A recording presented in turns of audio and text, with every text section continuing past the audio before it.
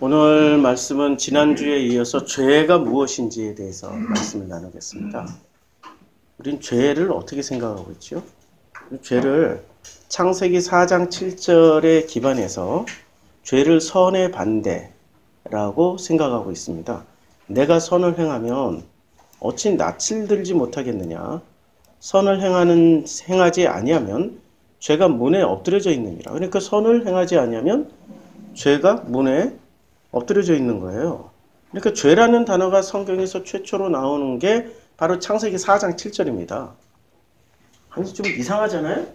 창세기 4장 7절에 창세기 4장 7절에 죄라는 단어가 최초로 등장을 해요. 그럼 문제는 창세기 1장 1절부터 시작해서 4장 7절 이전까지 요 이전까지는 죄였을까요? 아니었을까요? 왜?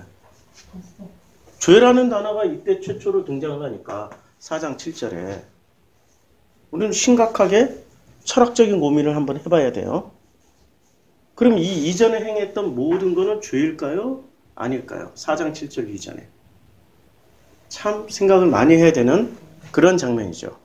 근데 이때도 죄를 뭐라고 얘기를 하냐면 4장 7절에 선을 행하지 아니하면 여기 파란색 칠을 해놨잖아요. 선을 행하지 아니하면 죄가 문에 엎드려져 있는 거예요. 그리고 문에 엎드려져 있는 것 뿐이지 그 죄가 나의 죄가 되, 된다라는 것도 아니에요. 지금 죄가 어떤 상태로 있어요? 선을 행하지 않으면 선의 반대인가? 제가 물어봤어요. 아니에요. 선의 반대가 아니라고 제가 말씀드리기 위해서 이걸 해놓은 거예요. 그래서 얘를 지워. 창세기 4장 7절을 중심으로 해서 이 죄가 무엇인지를 한번 살펴보자고요. 선을 행하지 아니하면 자, 첫 번째가 선을 어떻게 해야 돼요? 행하지 아니하면 두 번째가 죄가 죄가 성립이 되는 게 아니라 내가 죄인이 되는 게 아니에요. 죄가 문에 문에 어떻게 하고 있어요? 엎드려 있는 것뿐이야. 엎드려 있는 것뿐이야. 그러면 죄인이에요? 아직까지 죄인이 아니에요. 정확하게 문자 그대로 보면은 아니란 얘기예요. 문자 좋아하시는 근본주의자들께서는 왜 이런 걸 안 따지는지 몰라. 문자대로 좀 해석을 해보자고. 자, 그러면 죄가 세 번째, 죄가 너를 원하나 너는 죄를 다스리면 되는 거야. 문 앞에 엎드려 있을 뿐이지 죄가 어떻게 해요? 너를 원해. 죄가 너를 원해. 그런데 너는 죄를 네 번째 원하지만 너는 우리는 그러니까 너는이 우리잖아요. 우리는 죄를 어떻게 하면 돼요? 죄를 다스리면 죄가 돼요? 안 돼요? 죄가 안 된다는 얘기야. 그러니까 아직까지 죄인이 아니야. 선을 행하지 않았다고 해서 죄인이에요? 아니에요? 아직까지 아니야. 그러면 결정적으로 언제 죄인이 돼요? 죄가 원하나 문 앞에 엎드려져 있고 원하나 너는 죄를 다스리기만 하면 죄인이 안 될 수도 있다는 얘기예요. 아니 우리 목사님들이 설교를 이런 건 다 빼놓고 여기에 있는 걸 다 빼놓고 야 선을 행하지 않으니까 죄인이야 이런 식으로 쉽게 얘기를 해요. 자 선을 행하면은 선을 행하지 않으면 죄인이 된다라는 이 결론은 어디서 온 걸까요? 조로아스터교에서 왔지. 조로아스터교는 선의 반대는 무조건 네, 선의 반대는 무조건 악이야 그냥 죄야 이게 이게 죄라고. 악이 곧 죄가 된다고요. 선은 곧 뭐가 돼요? 네. 예, 선 자체가 하나님이고 하나님을 따르지 않으면 악이고 그것이 죄라는 도식을 가지고 있는 게 조로아스터교란 말이에요. 이게 조로아스터교의 이 지구상의 모든 종교가 영향을 받은 거 아시죠? 요 도식에 불교 들어가 있죠. 요 도식에 이슬람 들어가 있죠. 요 도식에 힌두교 들어가 있죠. 요 도식에 조로아스트교가 만들었으니까 조로아스트교 뭐 그 다음에 우리가 알고 있는 어거스틴이 무슨 종교의 사제였다고요?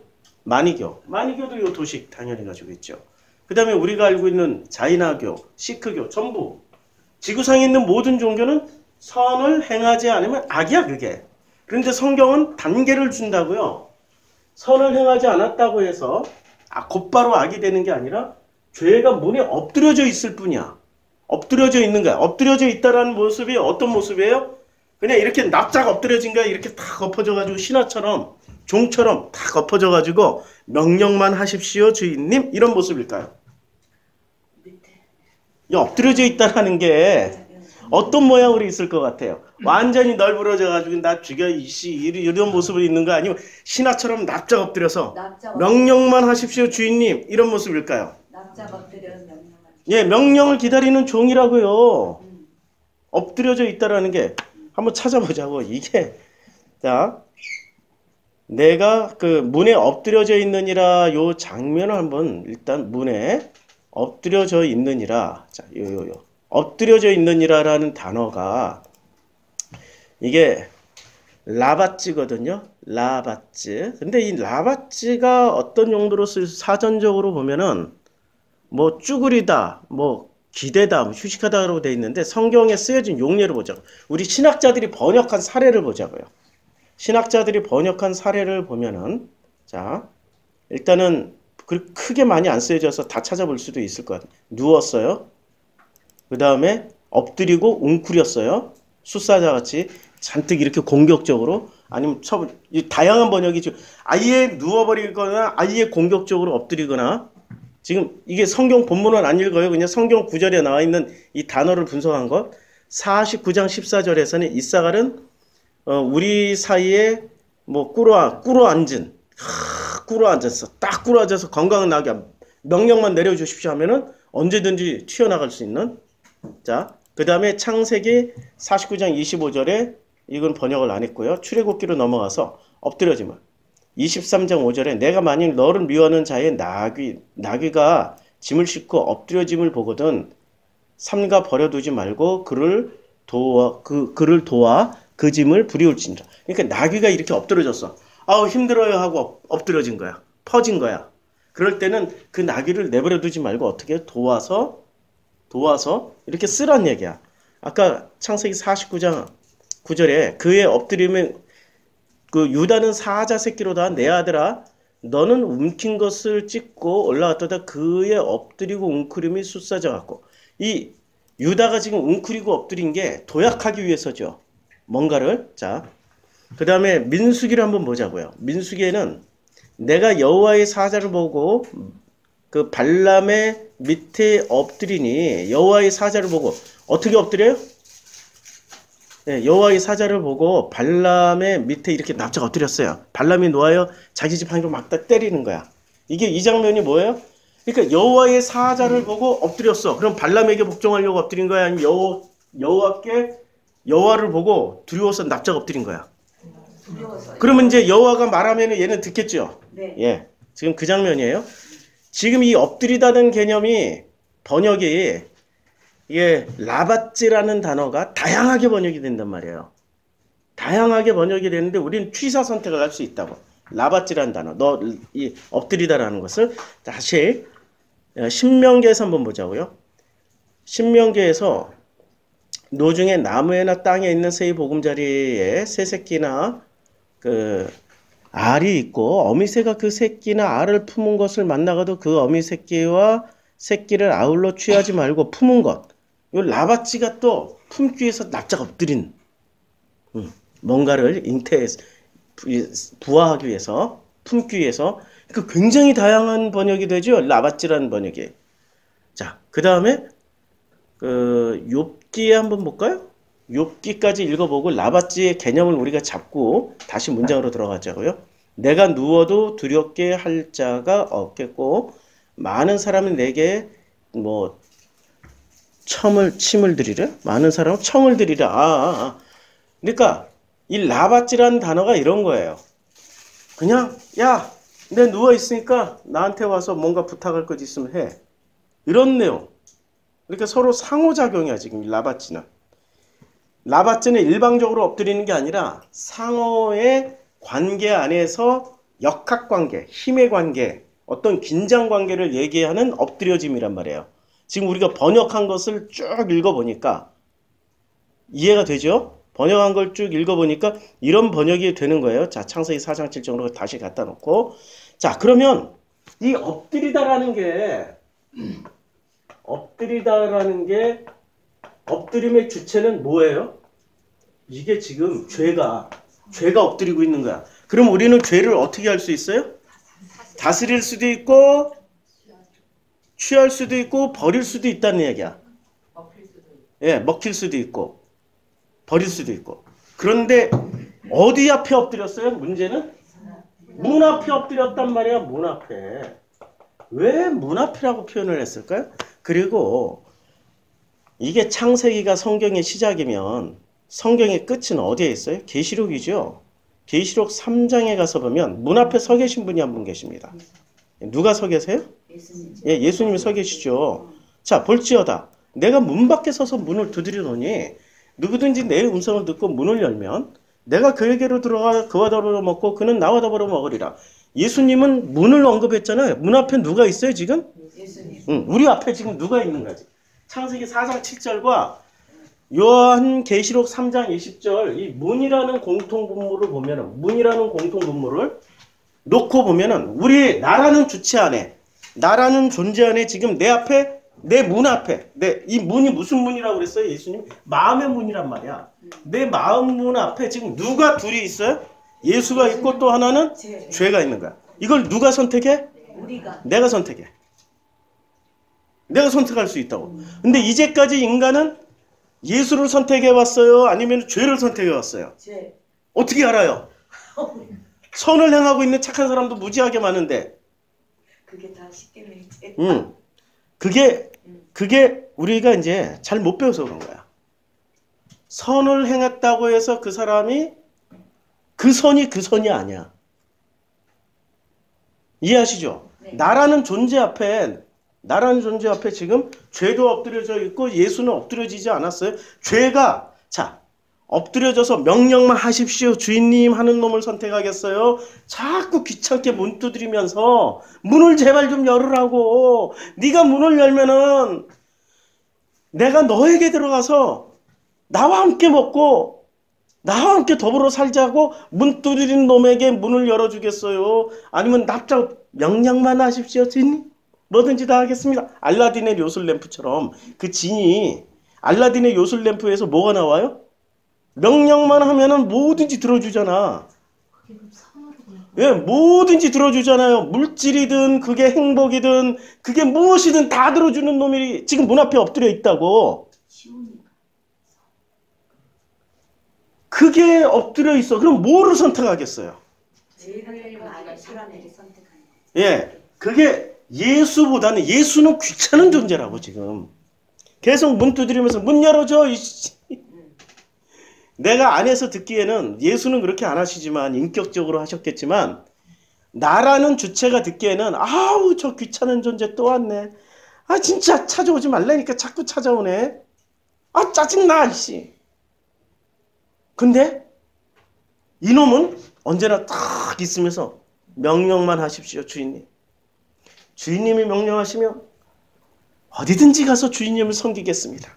나는 능력이 많고 힘이 있고 뭐든지 할 수 있으니까 주인님이 원하시면 아파트 사드리겠습니다. 주인님이 원하시면 가족들 행복하게 해드리겠습니다. 주인님이 원하시면 뭐든지 소원을 드리겠습니다. 할렐루야. 무엇을 선택하시겠습니까? 하면 안 되지만 해. 그렇죠. 뭐 선택의 여지가 없잖아요. 그냥 우리의 욕심에 따라서 선택하는 거죠. 근데 예수님이 말씀하셨어요. 문으로 들어오는 것들에 대해서. 자, 자, 내가 진실로 진실로 이르노니 문을 통하여 지금 문에 대해서 얘기하는 거예요. 지금 문 앞에 엎드려져 있다고 그랬으니까. 이거는 예수님의 해석으로 해석하는 게 맞죠. 네. 근데 이제까지 예수님의 해석으로 구약을 해석한 목사가 없잖아. 모르니까 예수님을 모르니까. 뭐로 해석을 해요? 신학적인 지식으로만 해석을 했다고. 근데 지식이 지식이 언제나 지식은 어디에 속해 있어요? 지식은 선하게. 앞에 요 요걸 붙여야 돼. 선악 지식이라고. 지식. 어. 요거 따라가다가는 요거 따라가다가는 지금 이 1, 2, 3, 4번을 그대로 다 순서를 밟아서 하나님과 상관없이 살아가게 될 수 있다는 말씀이죠. 자, 물 좀 마시고. 예, 내가 진실로 진실로 너에 이르노니 문을 통하여 양의 우리에 들어가지 아니하고 다른 데로 넘어가는 자는 절도며 강도예요. 문으로 들어가는 이는 양의 목자예요. 그치요?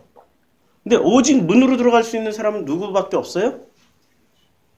예수밖에 없는 거야.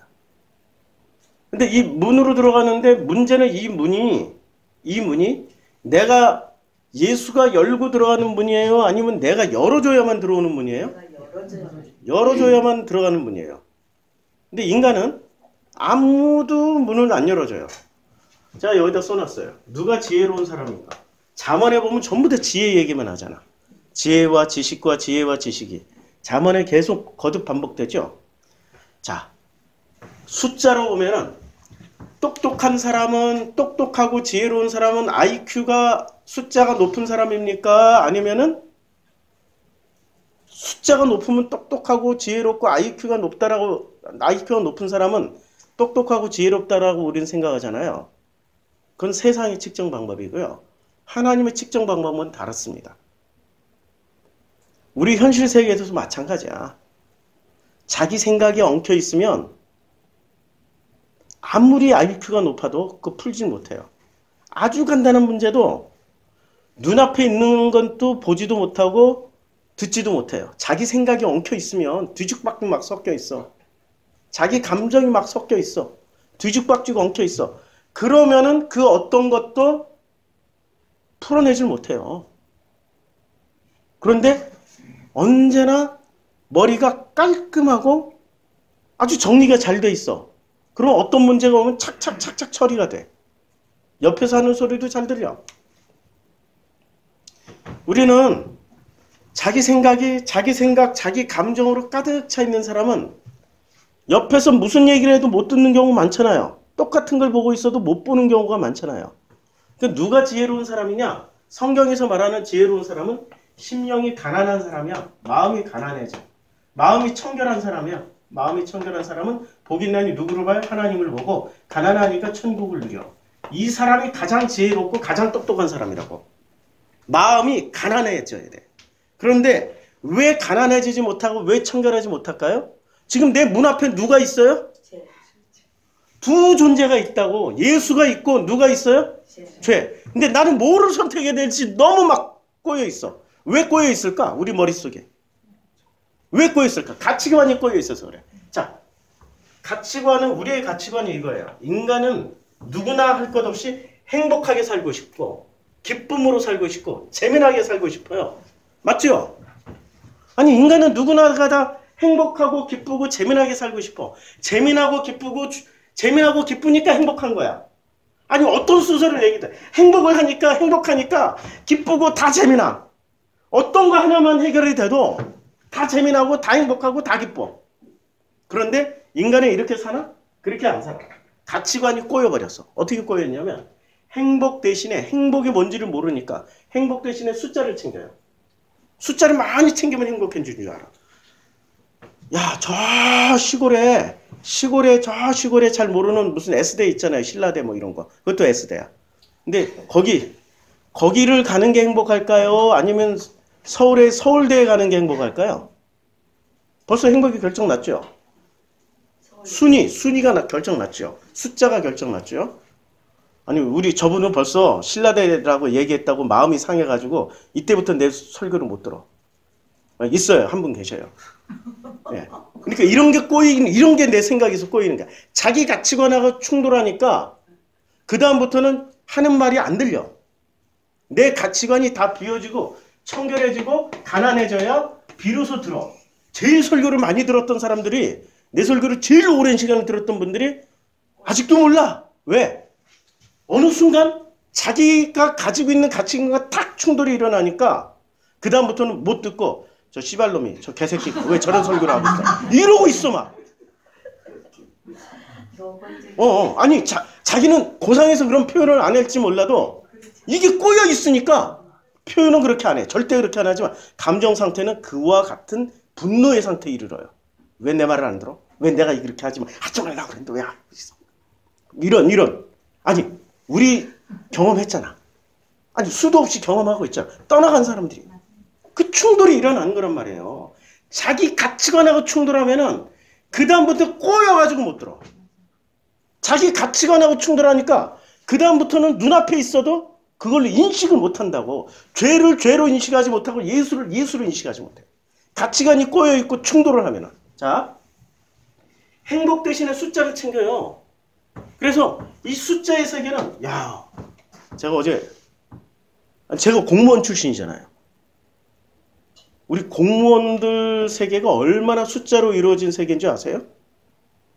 공무원이 일, 그 제가 저는 구급 공무원으로 저는 구급 공무원으로 입사를 했는데 구급 구급이 제일 말단직이에요. 구급 밑에 원래 일반직 밑에 우리 때는 기술직이 있었어요. 아니 별정직이 있었고 뭐 이런 것 이런 분들이 계셨는데 별정직. 근데 이분들의 기술직이나 별정직이나 전부 다 소원이 뭐냐면은 구급 일반직 되는 거야 일반직. 그럼 일반직 되려면 어떻게 돼요? 엄청난 숫자를 챙겨야 돼요.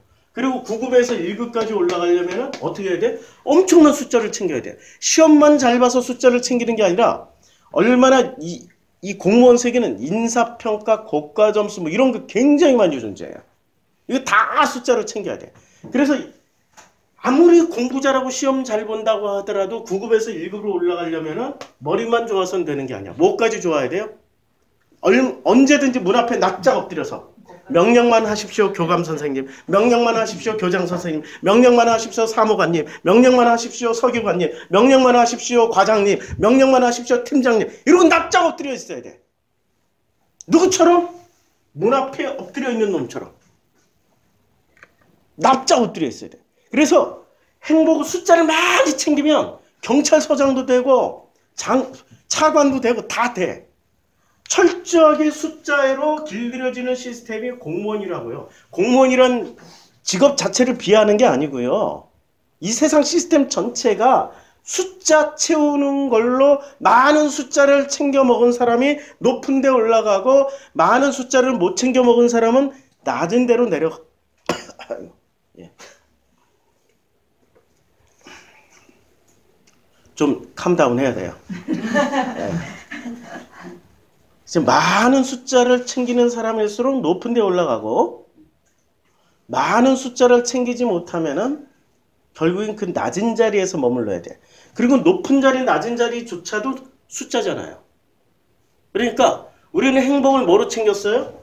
행복 대신에 숫자를 많이 챙겼다고요. 내 자녀가 인서울, 인서울 중에 스카이 안에 들어가면 어때요? 행복. 근데 너는 초등학교 6년, 아니 유치원, 초등학교, 중학교, 고등학교 12년에 유치원까지 최고의 인류로 다 보냈는데 인서울 못하고 저 지방에 있는 S대를 가냐. 이러면은 숫자가 낮아지죠. 불행하다고 생각하는 거죠, 우리 부모가. 내 자녀의 가치를 보지 못하고 그 자녀가 어떤 숫자에 들어가 있느냐에 따라서 내 행복과 불행이 결정되죠. 행복 대신 숫자를 챙긴단 말이에요. 행복 대신 숫자를 챙기는 사람들. 이게 비극이란 말이야. 우리에게 있어서. 그리고 숫자, 많은 숫자의 돈을 가져다 주는 남편이 좋아요? 아니면은 한 푼도 안 벌면서 알랑방구만 끼면 끼는 남편이 좋아요? 돈 많이 벌는 남편이 당근이지. 당근이죠. 그 강남 아줌마들이야 돈만 많이 갖다 주면 이 새끼가 뭐를 해도 상관이 없어. 돈만 많이 갖다 주면 그놈이 무슨 짓을 하든 상관이 없다니까. 이어 이어 이어 바람을 피든 뭐 하든 자기 눈앞에서 지금 자기도 레스토랑에 자기 이거 하고 레스토랑에 갔는데 맞은편에 그 새끼가 앉아가지고 이거 하고 같이 앉아서 그거 먹고 있어. 그러면 그러면 어떻게 해야 돼? 좋아해야 돼? 싫어해야 돼? 서로 모른 척해. 그리고 my way 해 그냥. 이게 강남 사람들 얘기란 말이야. 뭐를 챙겨주기 때문에 그놈이 숫자, 숫자, 많은 숫자. 그리고 나를 강남에서 살게 해주잖아. 어, 저 구로동에서 왔습니다. 이런 것과 저 강남에서 왔는데요. 뭐가 달라요? 확실히 대접이 다르죠, 대한민국은. 뭐로 대해요? 숫자로 대한다니까. 행복을 모르니까 행복 대신에 자꾸 숫자를 챙겨서 많은 숫자를 가지면 행복해질 줄 알아. 그래서 많은 숫자를 챙기는 것을 창세기 1장부터 11장 사이 뭐로 나타내는 바벨탑으로 나타낸다고. 바벨탑이 왜 탑으로 표현을 했을까요? 많은 층을 쌓으면 쌓을수록 행복해질 줄 알고 끝까지 쌓아. 행복을 모르니까 그때 당시에 창세기 11장에 사람들이 행복을 모르니까 뭐로 행복해지려고 끊임없이 높고 더 높고 더 높고 하늘까지 닿게 하늘까지 닿게 하자라고 했을까요? 그 끊임없이 숫자를 쌓고 있었던 사람들이 바벨탑 쌓던 사람들 아니에요. 그 사람들이 행복을 모르니까 숫자를 대신 챙기고 있었다고. 우리 그렇게 살지 않았나? 좀 더 많은 돈을 벌기 위해서, 좀 더 높은 데 올라가기 위해서, 좀 더 높은 명예를 위해서, 그러면 행복해질 줄 알았어. 내가 돈 많이 벌어서 너희를 행복하게 해줄게. 너희들 행복하게 해줄게. 우리 아버지들의 얘기 아니야. 돈만 많이 벌면 행복해질 거라고 생각했던 게 우리 아버지 세대고 우리 세대란 말이에요. 근데 돈 많이 벌었어. 세상에 나는 이제까지 일평생에 500만 원 이상 월급을 받아본 적이 없거든요. 내가 꾸준히 철도청에 있었으면 지금 모르지. 한 달에 한 천만 원 받았을지. 철도 공사로 바뀌었고 코레일 공사로 바뀌었기 때문에 우리같이 토목직은 귀한 직장이 전문 기술직이거든. 토목과 졸업할 때는 몰랐는데 지금 대한민국의 변천사를 보니까 토목이 얼마나 큰 돈을 벌 수 있는지를 알았어요. 끝까지 남아있을 거야. 숫자 챙기려고. 근데 이 길로 오게 해주신 게 하나님의 은혜라고요.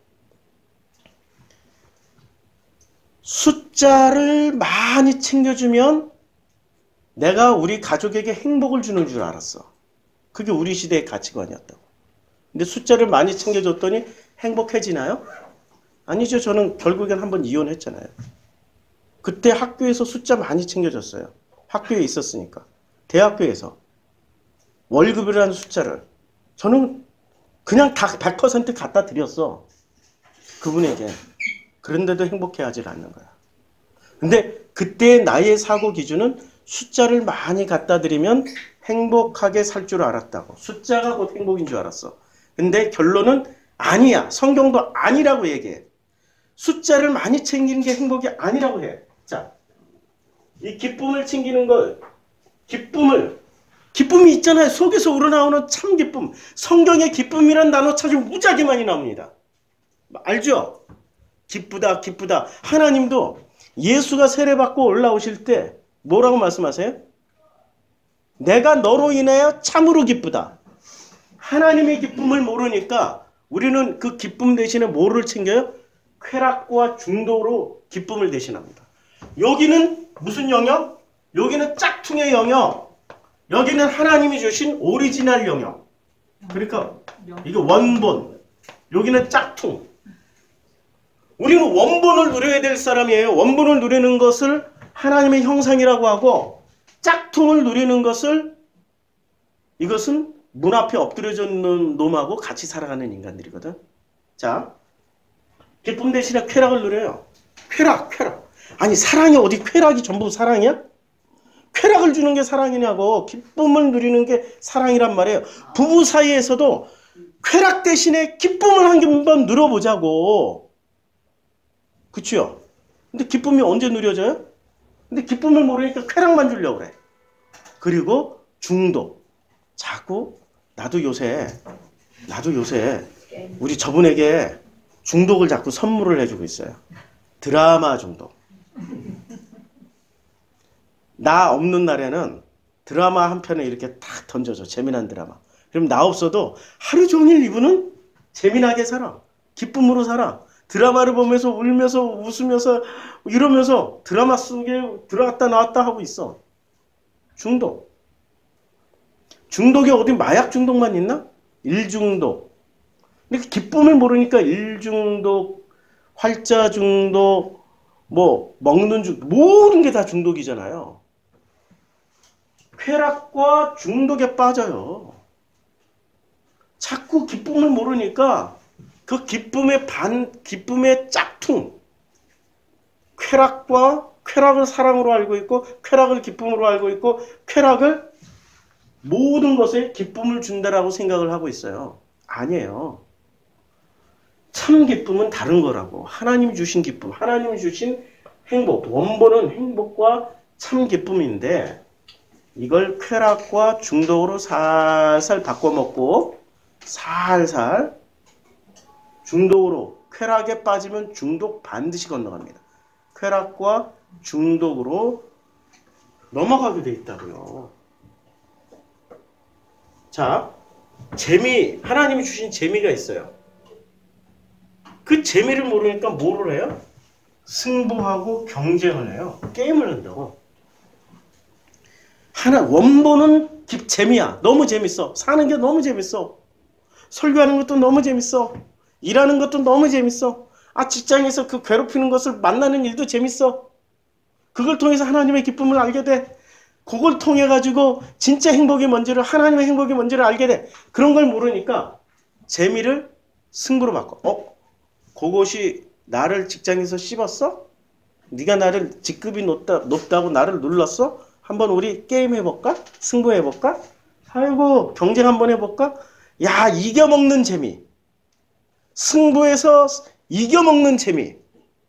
경쟁에서 우월을 차지하는 재미.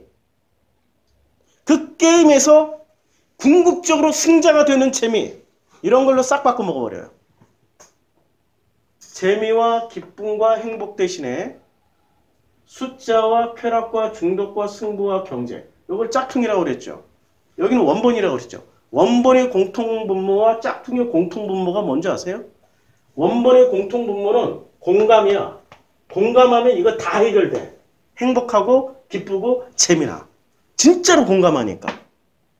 그 사람을 외모나 그 사람을 숫자로나 그 사람이 가지고 있는 어떤 쾌락의 능력. 아, 이 성경에는 많이 나와요. 쾌락의 능력이. 특히 에스겔서에서 무지 많이 나옵니다. 입에 거론하기 힘들게 힘들 정도로 많이 나와요. 아주 그냥 그 에스겔서 읽다 보면 읽다 보면 어우 막 낯뜨고 19금이 너무 너무 많이 나와. 야, 넌 너희는 애굽의 말에 거시기 아주 이제 대놓고 애굽 말에 남근 같은 그런 남자를 좋아하니? 응? 이스라엘 오홀라와 오홀리바마에게 대놓고 얘기한다니까요. 그러니까 그것들이 기쁨 대신에 뭐를 추구하고 있었어요? 쾌락. 이스라엘은 내내 기쁨 대신에 쾌락을 추구하고 있었고 행복 대신에 뭐를 추구하고 있어요? 솔로몬 시대 때부터 행복 대신에 하나님과의 이 공감, 소통, 만남 대신에 뭐를 추구해서 1천 번째 숫자로 채우기 시작했다. 솔로몬은 전부 다 숫자로 채운 대표적인 사람 아니에요. 1천 번째 드렸죠. 와이프도 1천 명이죠. 전부 다 숫자로 다 챙겨 먹었잖아. 말이 몇, 말, 말이 힘 100마리 몇 마리 가지고 있었고, 방패 몇 개를 가지고 있었고, 금으로 다 치운. 방패가 몇 개, 전부 다 숫자로 채운 사람이 솔로몬이라고. 이때부터 이스라엘은 어떻게 됐어요? 망함의 길로 갔잖아요. 숫자, 행복 대신에 숫, 다윗은, 다윗의 삶이 행복한 삶이었을까요? 고난의 삶이었을까요? 다윗처럼 살아라면 살 수 있었어요? 못 살죠. 맨날 도망가고 터지고 깨지고 숨고 좀 할만하면은 아들 아들이 또 그냥 자녀들이 문제 일으키고 또 그 아들 좀 살려달라고 그랬더니 아들 죽여버리고 계속해서 고난의 고난의 고난의 삶을 살았잖아요. 그런데 그는 참 행복과 기쁨과 재미를 알았다고. 참 행복과 기쁨과 재미를 알고 살았지만 그 아들 솔로몬은 모든 걸 다 갖췄지만 참 행복을 모르니까 숫자를 챙기기 시작했어요. 숫자를 챙기기 시작하고 기쁨 대신에 쾌락을 살기 시작했고 재미 대신에 승부와 게임을 했잖아요. 장사를 했으니까. 끊임없이 거기서 이겨먹는 즐거움. 마지막에 성전 지을 때도 솔로몬이 히라망하고 뭐를 했어요? 게임했잖아. 승부 걸었잖아. 경쟁했잖아. 히라망이 그 엄청난 백향막과 금을 다 갖다 줬는데도 불구하고 갈릴리에 몇 땅 몇 개 주고 히라망이 와서 너무 하는 거 아니냐고. 너무 하는 거 아니냐고. 게임에서 진 거야 이긴 거야. 지금 솔로몬이. 쥐가 이기니까 하하하 그럼 하나 더 주지 하고 더 뛰어. 승부에 재미를 모르니까 승부의 대명사가 되어버렸다고요. 자, 원본은 공감이에요. 공감을 하면 행복해요. 기뻐요. 재미예요. 이거 관심이 없어져. 공감을 하기 시작하면 내 옆에 있는 내 아내가 세상에서 제일 예뻐져. 내 옆에 있는 내 남편이 세상에서 제일 좋은 남편이 되고 내 옆에 있는 내 가족이 가장 나를 행복하게 해주고 내가 그들로 인해서 너무나도 기쁜 사람이 된다고 행복해지고 기쁨이 되고 재미가 된다고 집에 들어오기 싫어. 그러면 이, 이 공감이 없어 그 가족이. 집에 들어가기 싫은 건 공감이 없는 거야. 아씨 그냥 차라리 친구 집에 가서 자는 게 나은데. 아 짜증나.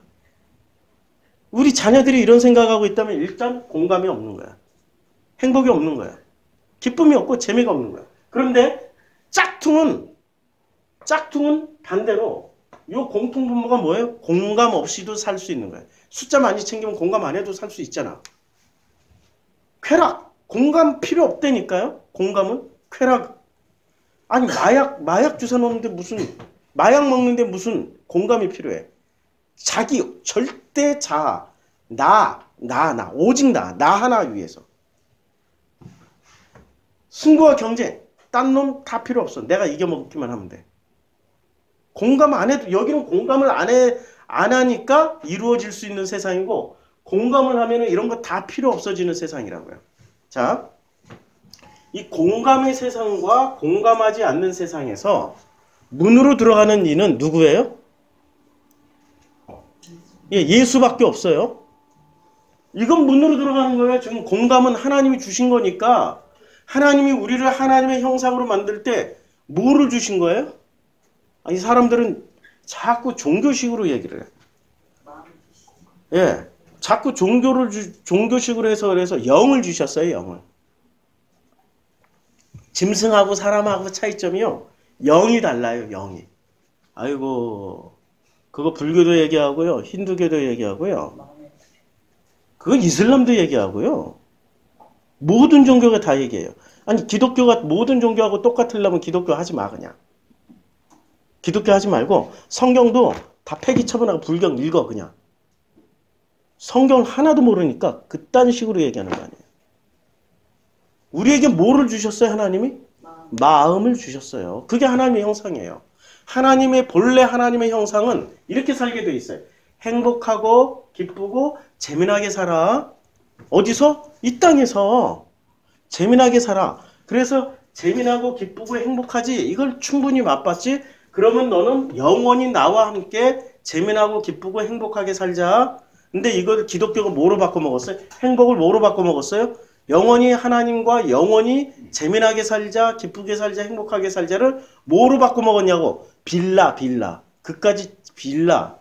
거대한 대저택, 대저택 가지고도 부족해. 그 안에 문만 열면 온갖 금은 보화가 가득한 보물 상자가 있어야 돼. 그것도 부족해. 이슬람은 거기다 플러스 남자 같은 경우는 여자, 여자들, 아내가 24명이 학 방마다 있어, 이러고. 예쁜 절세 미인들이. 전부 뭐로 챙겨 먹어요? 숫자와 쾌락과 기쁨으로, 아니, 숫자와 쾌락과 승부와 경쟁이 있는 곳으로 만들어 놨어요. 거기가 천국일까요? 지옥일까요? 그게 지옥이죠.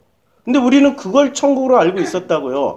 뭐 가는 길마다 수정같이 맑은 물에 황금이 길가에 돌아다닌다고 내가 순회 선교단에 김용희 선교사 설교 듣다가 깜짝 놀랐어. 아니, 천국을 아 거기는 막 도, 금이 너무 많아서 쓸모가 없어. 너무 많아서 쓸모가 없고 아 그 돌처럼 여긴다고.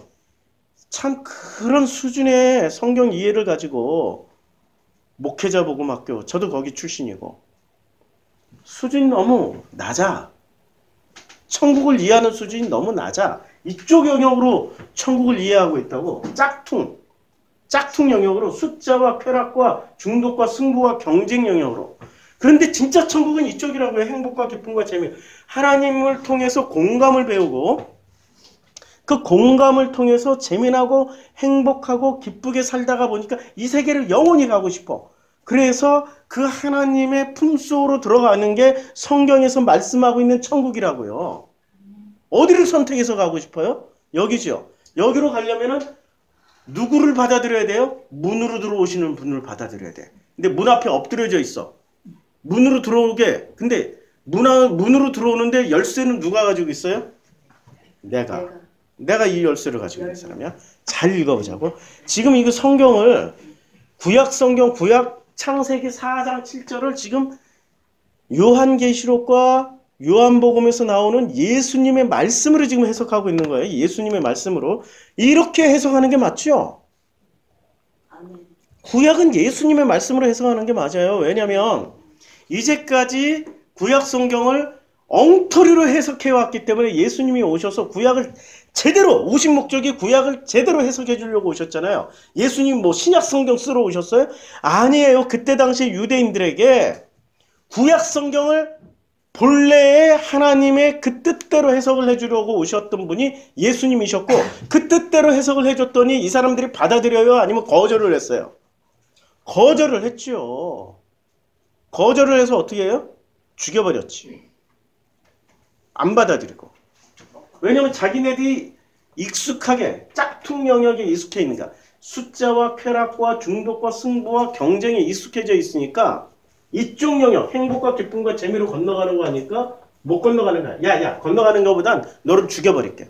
이 행복과 기쁨과 재미의 원천을 죽여버릴게. 죽여버린 거 아니에요. 우리는 그러고 살고 있어요. 제가 지금 뭐를 전하는 거예요? 짝퉁. 공감 없음으로 이루어지는 세상을 전하고 있습니까? 공감으로 이루어지는 이 행복과 기쁨과 재미를 전하고 있습니까? 이걸 전하고 있단 말이에요. 공감대. 예. 자, 문지기는 그를 위하여 문을 열어요. 그래서 문지기가 중요한 거예요.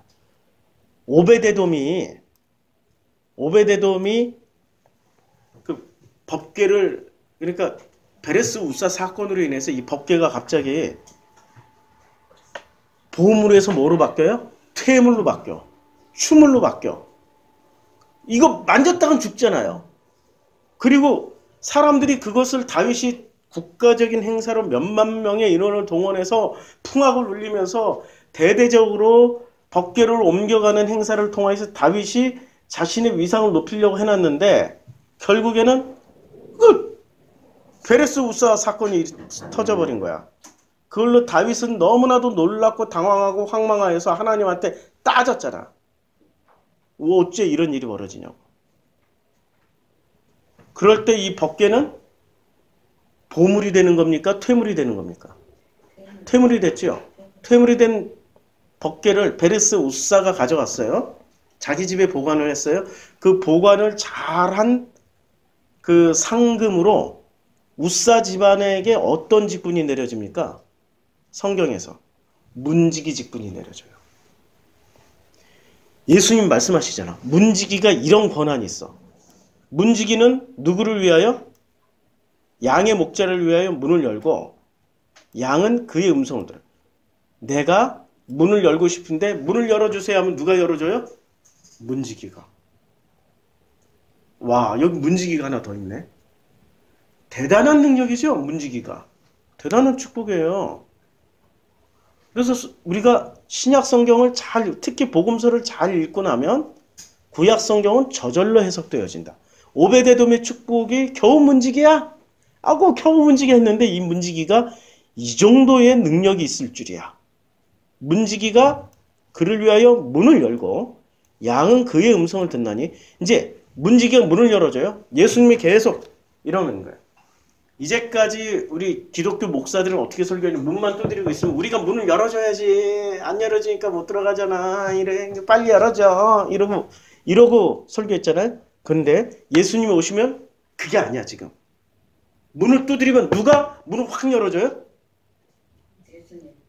아니고. 참딴 생각하지 마시고. 문지기. 문지기 문지기. 예. 아유. 그래서 권사님 있어서 즐거워 어, 권사님 우리를 대변해 주잖아 우리의 그 생각을. 예, 딴, 딴 나라 갔다 오다가 갑자기 딴 나라 대답을 하시는 예. 자 문지기가 문을 열어주면 그 다음에는 어떻게 돼요? 문을 열고 열린 문으로 예수님이 뭐를 해요? 이름 양의 이름을 불러 양의 이름을 부르는 최영이 나와 김태훈 나와 뭐 이렇게 이름을 불러줘요 예. 그러면 어떻게 돼요? 각 자기 양의 이름을 각각 불러 인도해내요. 근데 자기 양을 다 내놓은 후에 앞서가면 양들은 그의 음성을 아는 거로 따라가요. 아니 이 음성을 아는 사람들은 어떤 사람들이 따라갈까요? 짝퉁 세계에서 성공한 사람들이 따라갈까요? 아니면은 짝퉁 세계에서는 성공 성공했거나 성공하지 못했거나 좌우지간 간절히 마음속에 행복과 기쁨과 재미를 정말로 진심으로 추구하던 사람들이 따라갈까요? 누가 진짜 양이 되죠? 음, 주의 음성은 누가 됐냐고요? 예. 공감 능력 있는 사람들이 듣기 시작하는 거야. 이걸 간절히 이 세상 현실에서 이루지 못했어도 그러나 지금이라도 정말로 나는 행복하게 살고 싶다. 정말로 나는 단 한 번이라도 기쁨을 누리며 살고 싶다. 나는 정말 이 세상을 재미나게 살고 싶다. 라고 간절히 원하는 사람들이 따라간다고요. 그런데 어떤 사람들이 나는 이미 행복해. 이미 이만큼 갖춰도 나는 이미 행복해. 나는 이미 쾌락과 이 중독으로 나는 한 번도 그 슬퍼본 적이 없어. 나는 언제나 재미나다니까. 나는 나가기만 하면 언제나 이겨. 와, 경쟁, 응? 승부. 이 숫자의 세계엔 나처럼 강한 사람 없다고. 내가 왜 따라가? 안 따라가는 거지. 자, 타인의 음성은 알지 못하는 거로 타인을 따르지 아니하고 도리어 도망을 해요. 그러니까 이 사람들은 누가 볼래? 숫자가 부르고 쾌락이 부르고 승부와 경쟁이 불러도 안 따라간다니까. 예수께서 이 비유로 그들에게 말씀하셨으나 그들은 그가 하신 말씀이 무엇인지를 알질 못해. 하여튼 뭐, 못 알아듣잖아 지금. 우리 성도님들이 알아듣지만 다른 교회 사람들이 느닷없이 여기 와서 앉아가지고 이 설교를 들으면 이해를 할까요? 아니 이해 못한다니까. 그러므로 예수께서 다시 이르시되 내가 진실로 진실로 너희에게 말하노니 나는 뭐라고요? 문이다. 그러면 이때 문지기는 누구예요? 문이자 불러내는 사람이자 문지기는 전부 뭐예요? 문이자 그러니까 이게 좀 복잡해. 여기 지금 창세 아니 요한복음 10장이 좀 복잡한 거죠. 지우개. 지우개. 이걸 요렇게 이렇게 쫙 지우고 말씀드릴게요. 지금 요한복음 10장에서 요한복음 10장에서 잘 읽어보면 지금 예수가 문 앞에 서 있고 문 앞에 서 있는 그분이야. 문 앞 그분이야. 그 다음에 문지기가 또 문을 열어주는데 문지기가 문을 열어주는데 또 예수는 또 뭐라고 나는 또 문이야 이렇게 얘기를 해. 이거 특정 정치인을 얘기하는 거 아니에요? 문이야. 문재인이 아니야. 나는 양의 문이다. 라고 말씀하세요. 문앞 그분이자 문 자체야. 그런데 문앞 그분이자 문 자체인데 누가 열어줘야 돼? 문지기만 열 수 있어. 와, 문지기의 축복이 대단한 축복이죠? 요문앞 그분이자 문이에요. 여기까지는 오케이. 맞죠? 자, 성경 지금 말, 말씀하신 그대로만 가자고. 자, 나보다 먼저 온 자는 다 절도요 강도니 양들이 듣지 아니하였느니라. 내가 이제 아예 여기서부터는 문 앞에 서 계신 분이 아니라 아예 뭐라 그래? 문이야. 그래서 나는 문이만 따라다녀. 그러면 주식도 올라. 문, 자, 문이야. 누구든지 나로 말미암아 들어가면 구원을 받고 또 들어가면 나오면 꼴을 얻- 얻으리라. 자, 도둑이 와. 도둑이 오는 것은 도둑질하고 죽이고 멸망시키려는 것뿐이요. 자, 근데 우리는 도둑을 선택했어요? 아니면 문, 문 앞 그분이자 문이신 그분을 선택했을까요? 여태 도둑을 선택했지 여태까지. 예.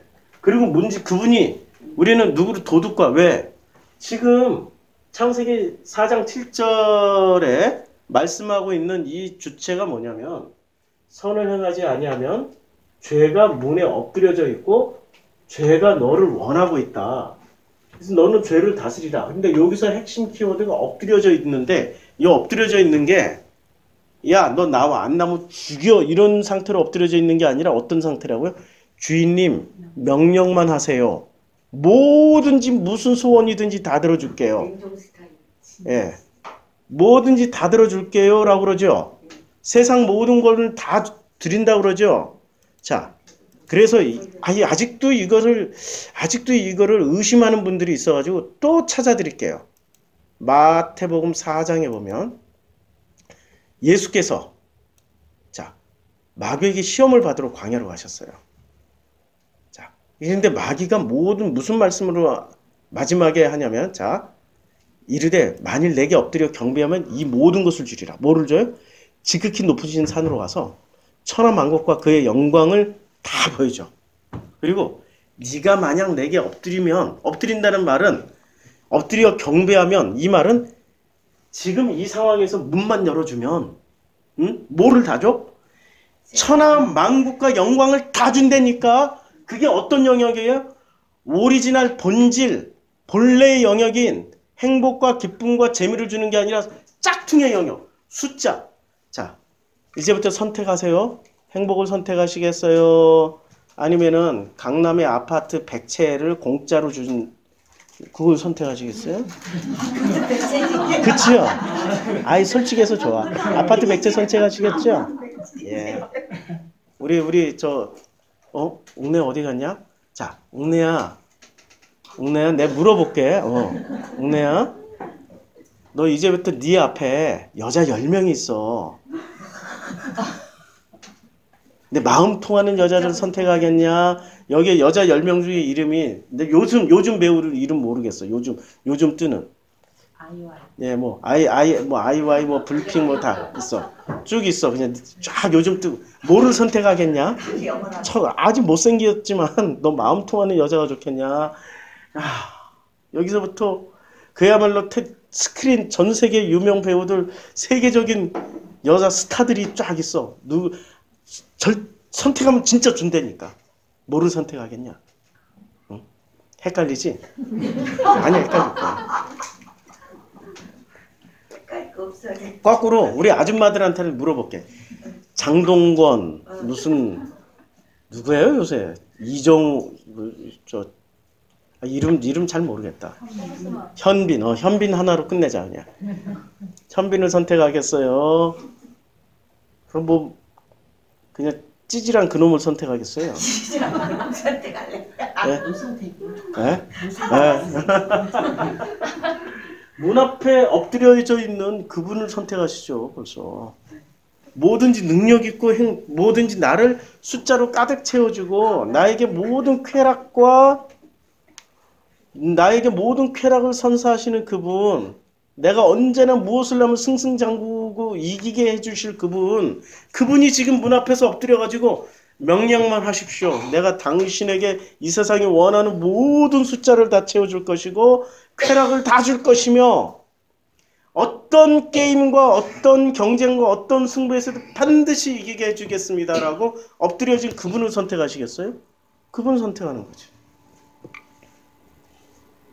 이게 지금 성경에서 말씀하고 있는 놀라운 장면이에요. 자, 도둑이 오는 것은 도둑질하고 죽이고 멸망시키는 우리 예수는 이렇게 말씀했지만 실제로 모양새는 납작 엎드려져 있어. 그리고 말씀만 하세요. 다 갖다 드릴게. 도둑들이 도둑들이 왜 도둑질해요? 왜 죽이고 멸망을 왜 시켜요? 아니 자기가 행복하게 살라고 자기가 기뻐하려고 자기가 재미나서 하잖아요.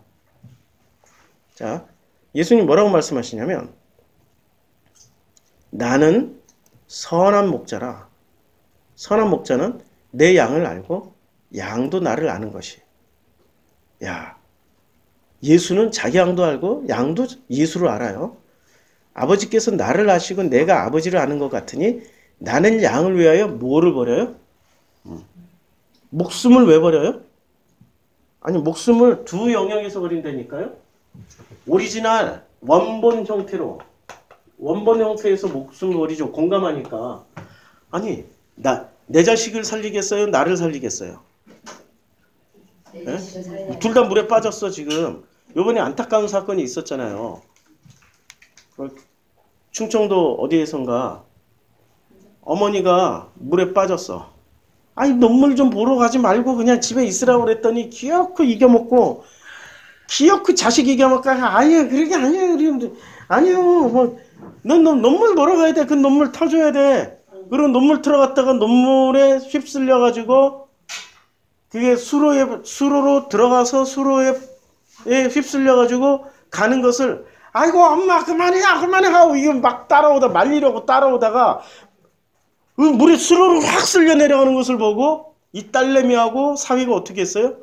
엄마 건져내려고 들어가다가 같이 들어가서 죽었잖아.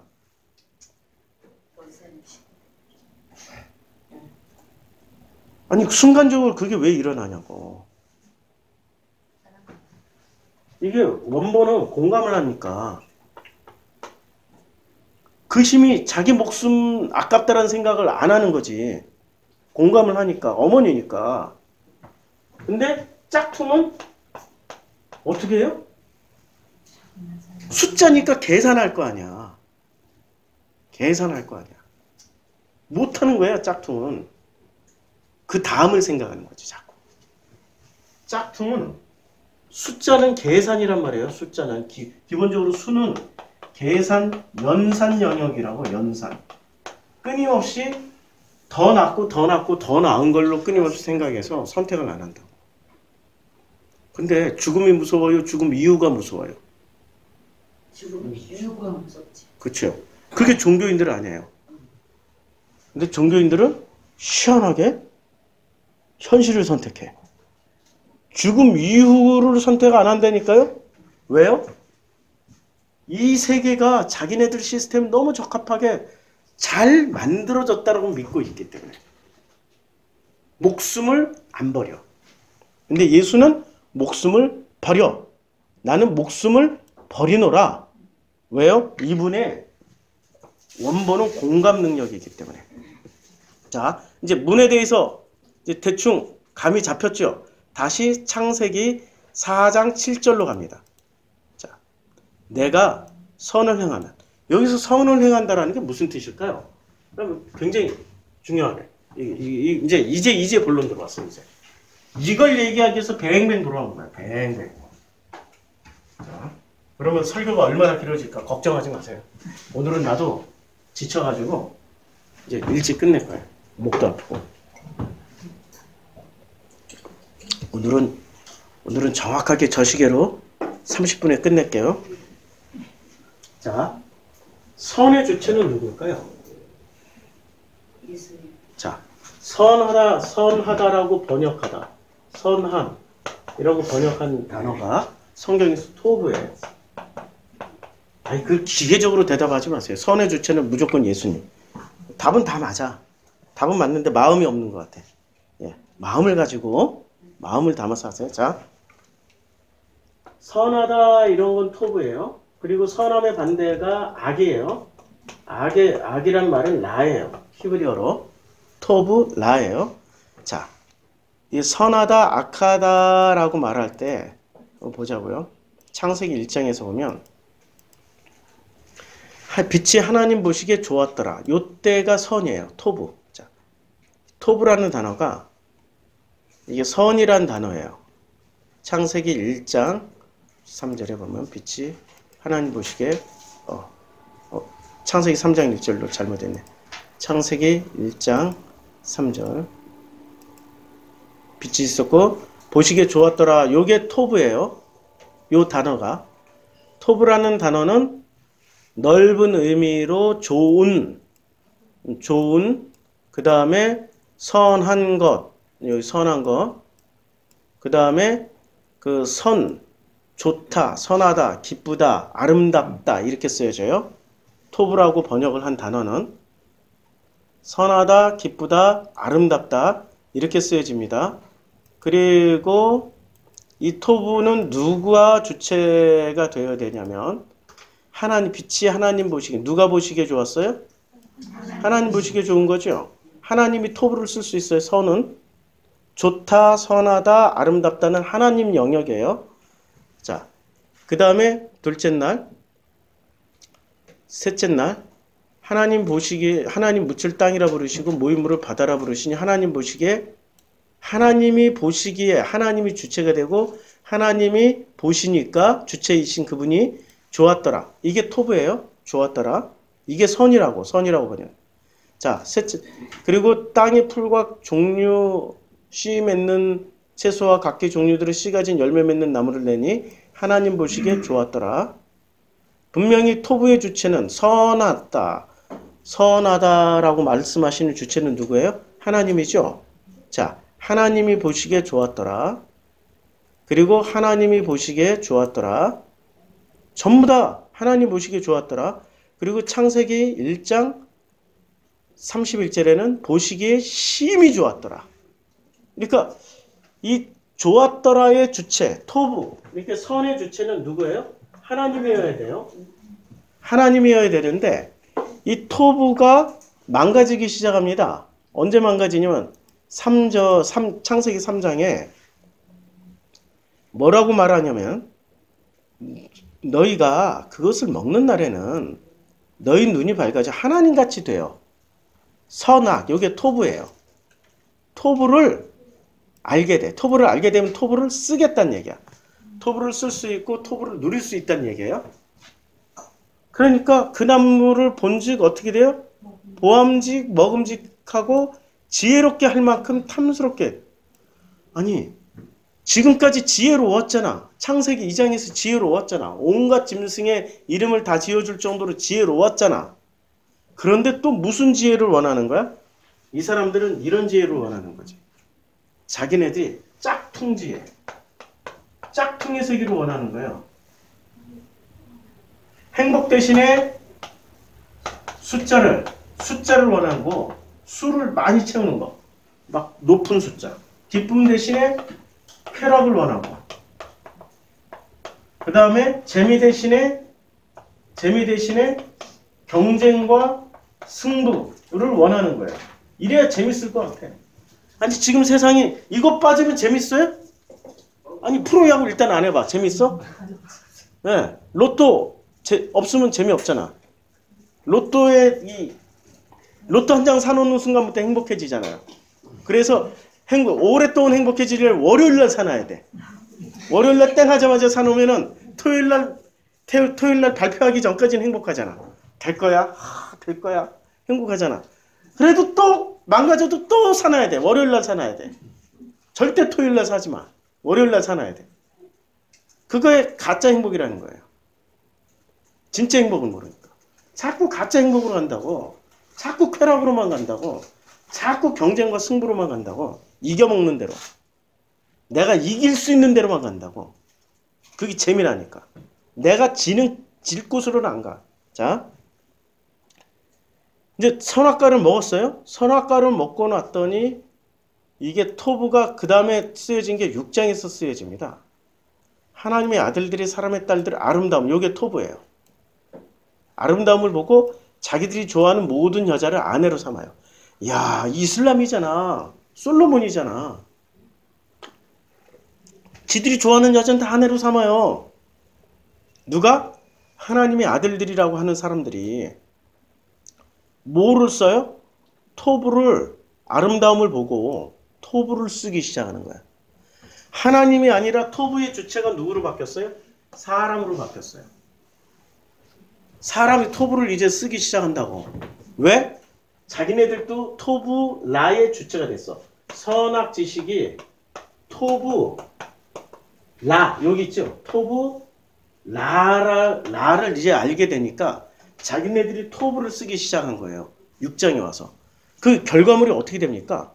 하나님이 뭐라고 사람의 죄악이 세상에 가득한과 그의 마음으로 생각하는 모든 계획이 항상 악할 뿐임을 보시고 땅 위에 사람 지으셨음을 한탄하사 마음에 근심하시고 하나님 왜 마음에 근심하셨어요? 아니 이 마음에 공감하는 인간들이 없어진 거야. 마음을 지으셨는데 마음에 근심하신 거지. 그래서 하나님은 끊임없이 자신을 마음으로 표현하세요. 마음에 근심하시고 마음에 한탄하시고 마음에 근심하시고 이르시되 내가 창조한 사람을 내가 지면에서 쓸어버리되 사람으로부터 가축과 기는 것과 공중의 새까지 그리하리니 이는 내가 그것들을 지었음을 한탄함이라 하시더라. 이게 그러나 여호와 그러나 노아는 어떻게 돼요? 여호와께 은혜를 입었더라. 자, 이제 여기서 여기서 중요한 거. 여기서 중요한 걸 보자고. 내가 선을 행하면 자, 여기 선의 주체가 누가 해, 누가 돼야 돼요? 하나님 아버지가 돼야 되죠. 하나님이어야 되죠. 근데 선의 주체가 누가 돼, 누구로 바뀌어 있어요, 지금?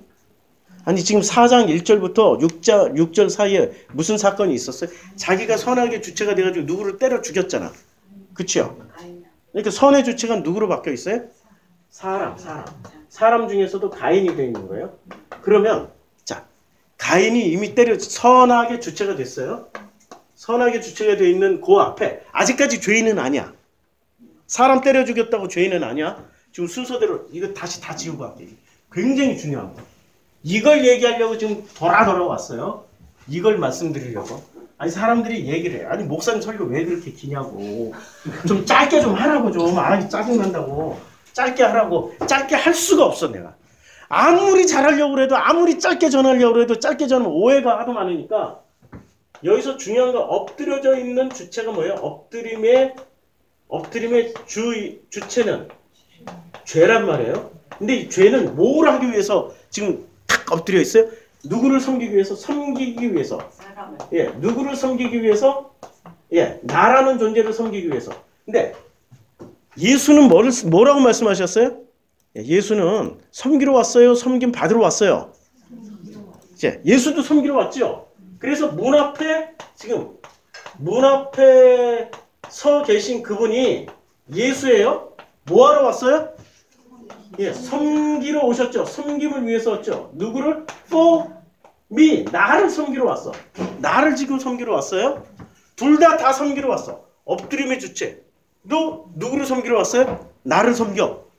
문 앞에 서 있는 그분은 서 있어. 예수야. 뭐 하러 왔어요? 섬기러 왔죠. 그런데 예수님 뭐라고 말씀하셨어요? 요한복음에서. 요한복음 10장에서 뭐라고 말씀하셨어요? 아까 얘기했잖아요. 자, 예, 문 밖에 아니 아니 그거는 요한 계시록이고. 자, 문 앞에 서 있는 목적이 뭐예요? 예수님이. 자, 그들은 강도니 뭐라고 왔어? 내가 문이니까 누구든지 나로 말미암아 들어가면 구원을 받고 또 들어가면 나오면 꼴을 얻는 거야. 꼴이 뭐야? 양식이란 말이야. 기쁨의 양식, 재미나는 재미나게 살게 만들어주는 양식, 행복하게 하는 양식을 먹는데 도둑은 뭐하러 와요? 죽이고 멸망시키려는 거야. 근데 예수는 선한 목자야. 지금 이것을 마태복음 4장으로 설명해 드렸잖아요. 내 앞에 엎드리면 좋지. 그 납작 엎드려 있어. 납작 엎드려 가지고 야, 나에게 나에게 내 문만 열어 줘. 그건 그 문만 열어 줘. 문만 열어 주고 나에게 맞절만 한 번 해 줘. 그러면 이 세상의 모든 영광과 이 세상 천하 만국의 모든 것들을 다 줄 거야. 뭐로 꼬셔요? 나는 뭐로 꼬시냐고. 세상 천하 만국 세상 세상, 천하, 만국 이걸로 다 꼬시잖아. 남자로 태어나서 뭐를 남기고 가야 돼? 이름 남기고 가야지. 응. 세상 천하 만국으로 꼬신다고. 근데 예수님은 문 앞에 서 계신 목적이 뭐예요? 생명을 주려고. 생명을 주려고 지금 이렇게 문 앞에 서 계신단 말이에요. 자, 그러면 창세기 4장 7절에 다시 한번 보자. 창세기 4장 7절이 내가 선을 행하면 어찌 낯을 들지 못하겠느냐? 선을 행하지 아니하면 죄가 문 앞에 엎드려 있느니라. 요때 선이란 단어를 한번 보자고요.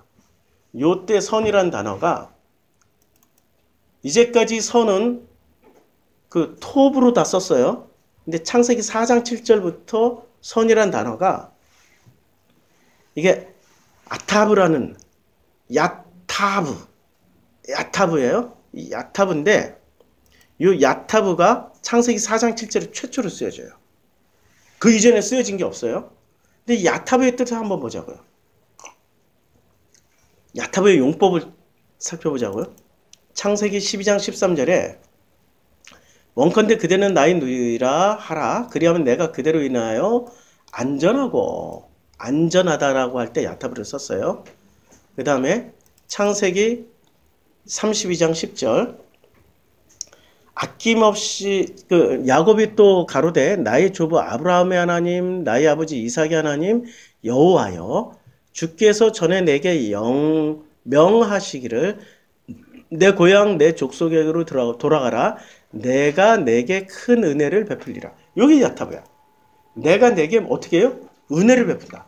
그러니까 이게 그 선을 베푼다라는 게 여기서 지금 선을 행한다 행한다, 행함. 그 다음에 선을 베푼다. 아, 글씨 누가 못 쓴다고 자꾸 뭐라고 그래. 빨리 쓰려다 보니까 그래요.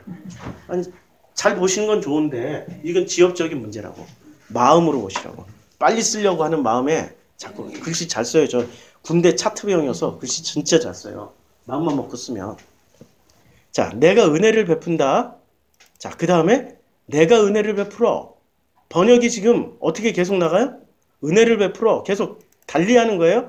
좋게 여김으로 계속 보면은 뭐 득이하거든. 좋게 여긴지라 창세기에서 번역이 기뻐하고 그 다음에 은혜를 베푸시니라 출애굽기 지금 정리할 때마다 지금 이게 내용이 어찌 선이 여기셨으리요 그러니까 이 야탑이라는 단어는 선이라고 선을 행하지 아니하면 그다음에 선을 행하면 여기서 내가 선을 행하면 내가 선을 행하지 아니하면 요때 선은 뭐예요? 기본 바탕이 하나님이 내게 은혜를 베푼다라는 거야. 하나님이 내게 은혜를 베푼다라는 거야.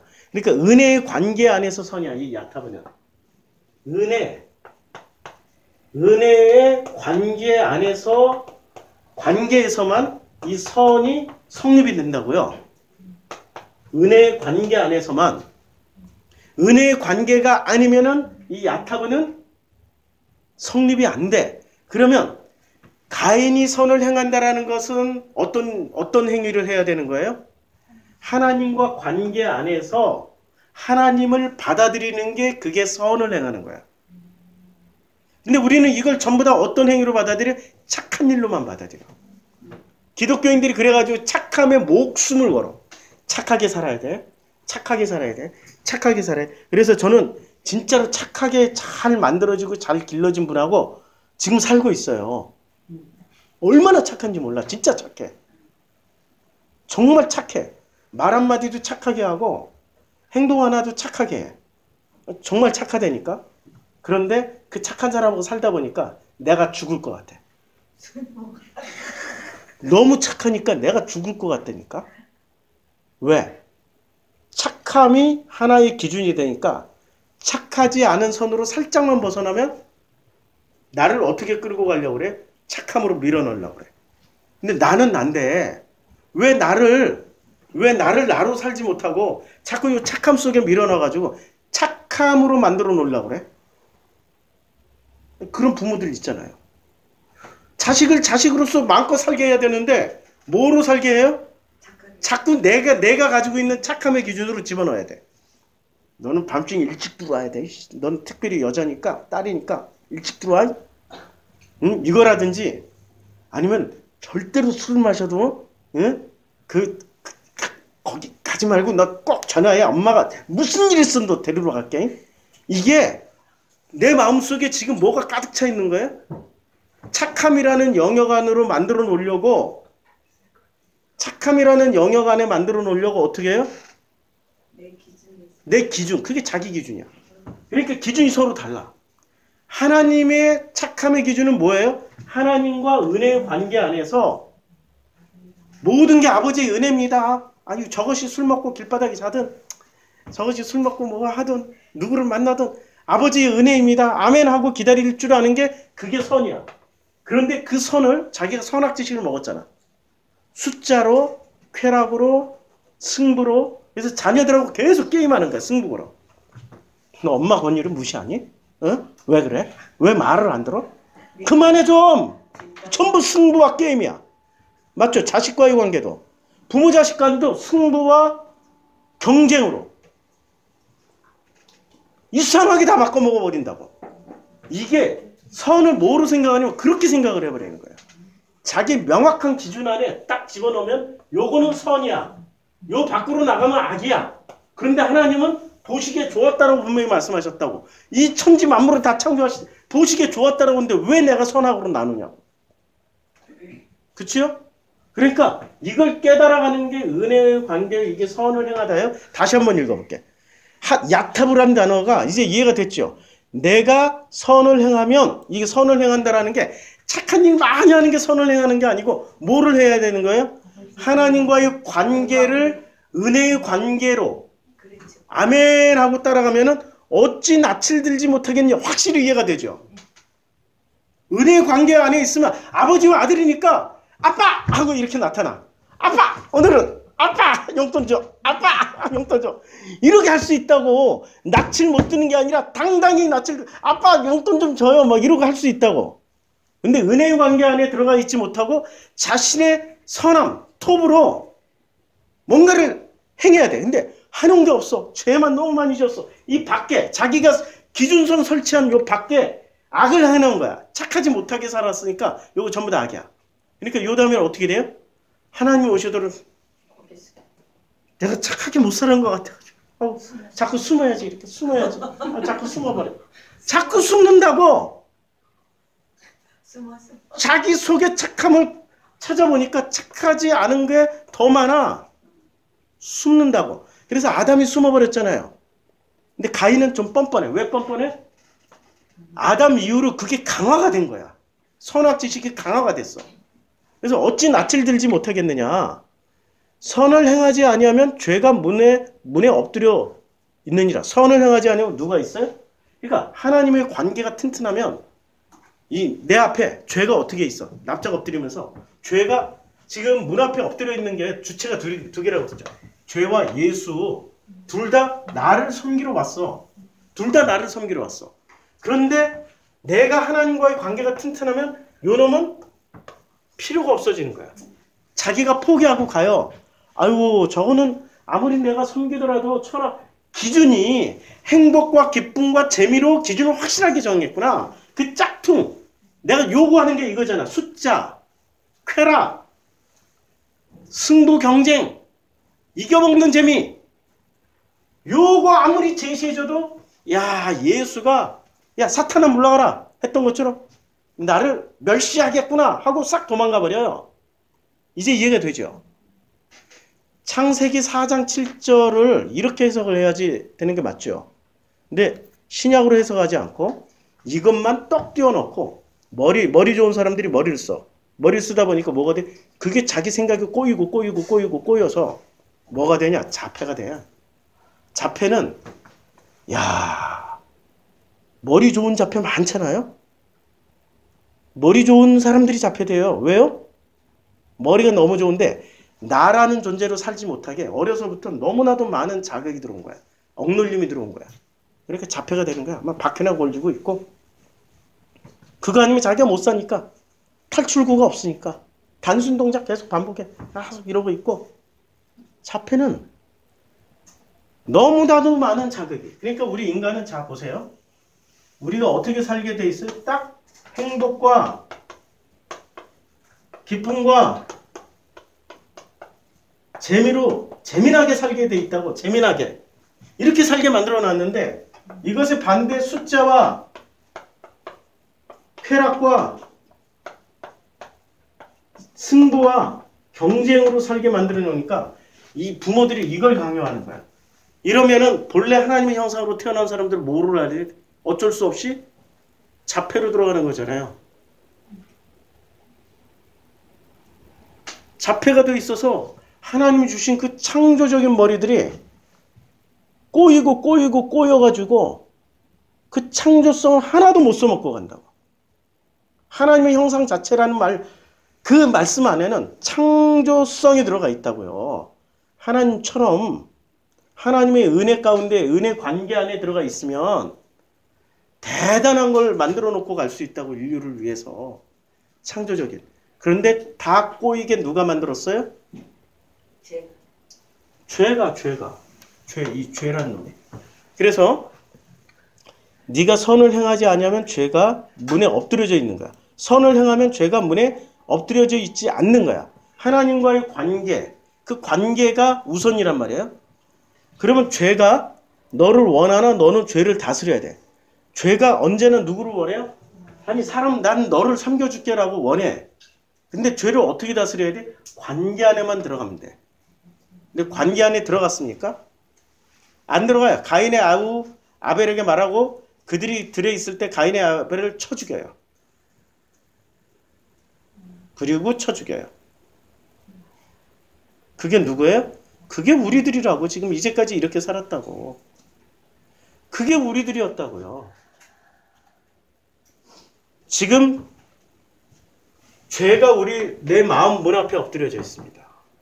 엎드려져 있다는 게 주인님 명령만 하세요. 섬겨드릴게요. 그리고 예수님이 제문 앞에 있어요. 나가 온 목적은 너에게 생명과 양식을 주러 왔어. 기쁨의 양식, 행복의 양식. 너는 나의 섬김을 받으면 세상을 재미나게 살 거야. 이쪽 영역의 재미남이 아니야. 진짜 행복하고 기쁘고 재미나는 영역으로 살게 될 건데. 자, 선택해봐. 죄도 섬기러 왔고, 예수도 섬기러 왔어. 선택하시라고. 선택하시라고. 지금 둘 다 문 앞에 서 계세요. 예수는 서 계시고, 죄는 내 앞에. 납작 나를 섬기겠다고 신하처럼 충실한 부하처럼 충실한 종처럼 납작 엎드려 있어요. 누구를 선택하겠습니까? 아 그래도 죽기 전에 강남에 부동산 한 100채는 가져가야 되지 않아요? 아 죽기 전에 그래도 미인하고 결혼 미 그놈 그 멋진 놈하고 한번 간다. 연애라도 한번 해보고 가야 되지 않아요? 아 그래도 죽기 전에. 뭐든 뭐든 한번 이겨먹고는 가야 되지 않아요?